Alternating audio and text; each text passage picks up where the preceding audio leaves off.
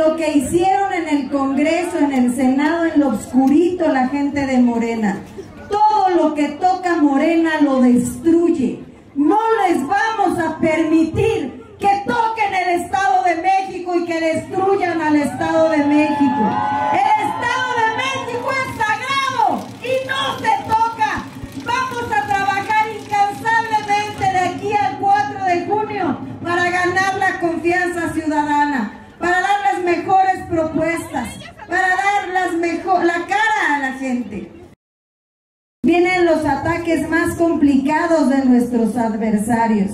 Y no importa, no importa que digan lo que quieran decir, que nos mientan con sus encuestas. Los únicos que tenemos la verdad somos los ciudadanos mexiquenses que votamos el 4 de junio. El Estado de México es sagrado. El Estado de México no se toca. Y todo lo Morena lo destruye. Así lo han demostrado en sus gobiernos municipales. No importa, no importa si necesitamos trabajar 23 horas y descansar una. No importa si tenemos que tocar todas las casas del Estado de México no se toca y no los vamos a dejar pasar.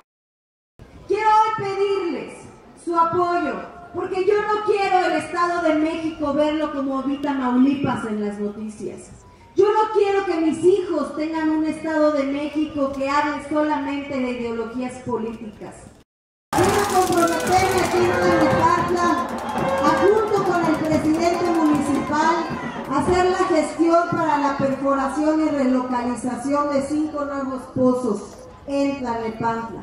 Que la gente pueda tener en la zona poniente y en la zona oriente del municipio así como la construcción de dos tanques de almacenamiento de agua potable en la zona oriente de Tlalnepantla, la construcción de una planta potabilizadora en Tlayapán para que podamos tener más agua aquí en el municipio. Todo, lo tengo que decir claro, todo lo haremos de la mano de ustedes los ciudadanos. Ustedes nos tendrán que ayudar porque es absolutamente importante.